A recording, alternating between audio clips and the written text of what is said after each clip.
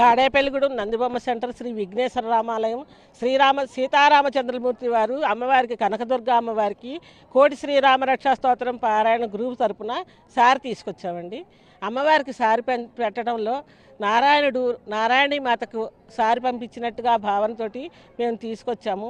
పసుపు కుంకుమ చలిమిడి ఒడిబియ్యము చీర పువ్వులు పండ్లు కొబ్బరి బండాలు ఇలా అన్ని రకాలతోటి సారి తీసుకొచ్చాము. బండంతో కొబ్బరి బండాలతో తీసుకొస్తే పూర్ణ ఫలంతో తీసుకొచ్చినట్టు చలివిడి తీసుకొస్తే అమ్మకి కడుపు నిండా కూడా చలి చలివిడి పెట్టినట్టు ఒడిబాలు తీసుకొస్తే అమ్మకి ఒడి నిండా ధనధాన్యాలు పెట్టినట్టు ఇలాగా అన్న భావనతోటి. అయితే ఇంతటి మహద్భాగ్యం అమ్మవారు ఆషాఢ మాసంలోనే మనకు కల్పిస్తుంది.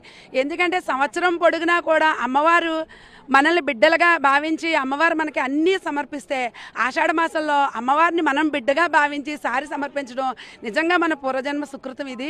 అమ్మవారికి ఈరోజు ఇక్కడ సారి సమర్పించడం నూట ఎనిమిది మాల పసుపు పసుపు కొమ్మలతో మాల అలాగే గాజుల మాల స్వీట్లు హాట్లు చనివిడి పసుపు కుంకుమ అన్నీ మన ఆడపిల్లకి ఎలా అయితే పెడతామో ఆ విధంగా అమ్మవారికి ఈరోజు సారి సమర్పించడం చాలా సంతోషంగా భావిస్తున్నాం.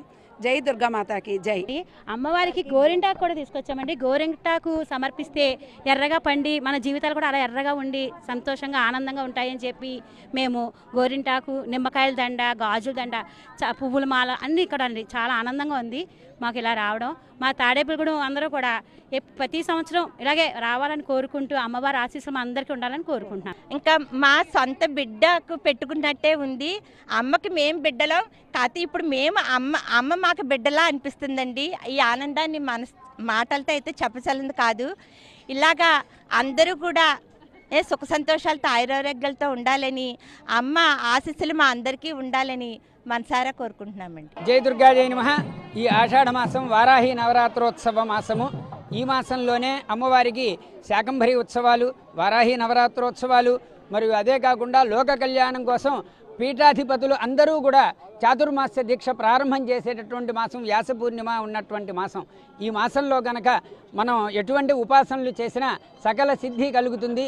అందువల్ల యాభై మంది భక్తులు అందరూ కూడా ఈ ఆషాఢ మాసంలో అమ్మవారిని దర్శనం చేసుకుని పవిత్రమైనటువంటి సౌమంగళ్య ద్రవ్యాలు అమ్మవారికి సమర్పించి ఆదిరారోగ్య ఐశ్వర్యాలతో వర్ధిల్లాలను కోరుతూ అమ్మవారి యొక్క దివ్య శుభాశీస్సులు.